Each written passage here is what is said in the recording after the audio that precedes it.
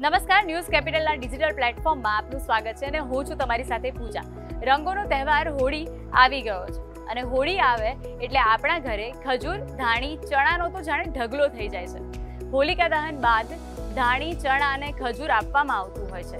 પણ શું તેની પાછળનું કોઈ ખાસ કારણ છે? તો સૌથી પહેલા ચણાની વાત કરીએ. ખેતરોમાં ચણાના પાકને આસો મહિના દરમિયાન વાવી દેવામાં આવે છે. હોળીનો તહેવાર આવે ત્યાં સુધીમાં તે પાકીને તૈયાર થઈ જાય છે. ચણા શરીરમાં થતી કફની ચિકાસને દૂર કરવામાં મદદરૂપ છે.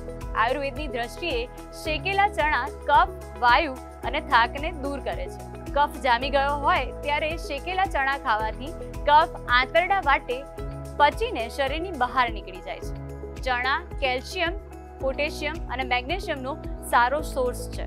મેંગેનીઝ, પ્રોટીન, કોપર, ફોસ્ફરસ અને આયર્નનો શ્રેષ્ઠ સોર્સ હોવાને કારણે હોળીના દિવસે ઉપવાસ દરમિયાન ખાવાની વિશેષ સલાહ આપવામાં આવે છે. જો વાત કરીએ ધાણીની, તો જુવારની ધાણીમાં એન્ટીઓક્સિડન્ટની ઊંચી માત્રા રહેલી છે. ધાણી ઘણી રીતે ઘઉં કરતાં પણ સુપીરિયર છે. જેમને ડાયાબિટીસ હોય અને જેમનું કોલેસ્ટ્રોલ લેવલ વધઘટ થતું હોય તેમના માટે જુવારની ધાણી સર્વશ્રેષ્ઠ છે.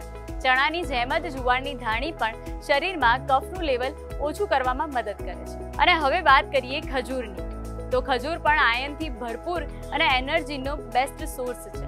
ખજૂર એનર્જી બૂસ્ટર તરીકે કામ કરે છે અને ખાસ કરીને જ્યારે ઉપવાસ હોય ત્યારે એનર્જી લેવલ જાળવી રાખવામાં ખજૂર મદદરૂપ થાય છે. અને એમાં એ ખજૂરની કિંમત તમામ વર્ગને પરવડે તેવી જ હોય છે.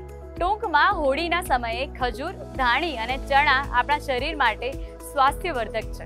અને કદાચ એટલે જ આપણા પૂર્વજોએ હોળીના સમય દરમિયાન ખજૂર, ધાણી અને ચણા ખાવાની પ્રથા બનાવી હશે. આવા જ વધુ વિડીયોઝ માટે તમે જોડાયેલા રહો ન્યૂઝ કેપિટલના ડિજિટલ પ્લેટફોર્મ સાથે. નમસ્કાર.